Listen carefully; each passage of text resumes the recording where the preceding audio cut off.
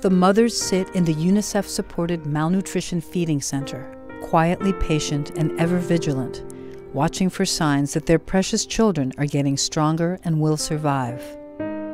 This is Mauritania, a country under siege from two simultaneous emergencies, one of eight countries in the Sahel region of Africa where drought has led to the worst food shortages in years. Mauritania has also become a temporary home to 65,000 refugees escaping violent unrest in Mali. Enduring harsh conditions even in the best of times, one in four Mauritanian families are now subsisting on the edge. 700,000 families don't have enough food to eat each day. As a result, 35,000 children are already malnourished, and this could rise as high, high as 90,000 by the end of the year. Most families in Mauritania rely on farming and livestock to survive, whether from the milk the animals provide or from selling them for money to buy food.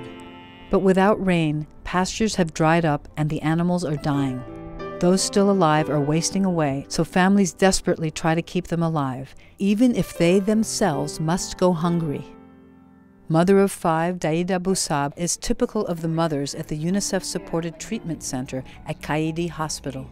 Her son, Ahmed Salim, is almost a year old and weighs just 11 pounds.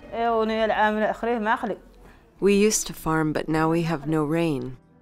It's so hard for us and for the animals because we can't grow crops and the animals have nothing to eat. All of the families are suffering. With the drought, deaths have increased this year. Parents are forced to travel many kilometers to bring their children here during the final stages. But mothers like Daida were lucky to have somewhere to turn. UNICEF and its partners are working together to save the lives of children. They're providing products that are fortified with micronutrients and all of the things that the body needs to recover from malnutrition either in a form of fortified milk or a kind of fortified peanut butter. The other thing that UNICEF is doing is working to ensure that healthcare workers know how to track the progress and recovery of these children, weighing them to see how much weight they're regaining, and measuring them to check that they're not having their growth permanently damaged. Once a malnourished child gains weight and the doctors deem it safe, parents can take their children home. One of those fortunate mothers was Rugui Sal, she was finally able to take two year old Idi Umar home to his brothers and sisters, but the conditions in her village have not changed. As long as the food crisis continues, Idi will continue to need help.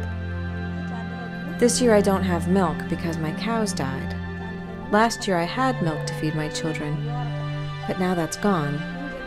I'm afraid because everything is dependent on the rain. Rugui continues to need UNICEF provided supplements to keep Idi on the mend. But the rest of her family struggles by with a daily meal of porridge made of corn, sugar, and water, with Rugui carefully ladling out only half a portion for herself so as to provide her children with as much as possible. Sometimes it feels like the statistics on malnutrition are overwhelming, but the reality is that each one of those numbers is an individual child and each of those children has a mother that is distressed and anxious because they desperately need help. These mothers that are here are like all mothers. They love their children. And that's why we're here to help. But we need more support to save the lives of these children, who are like all children.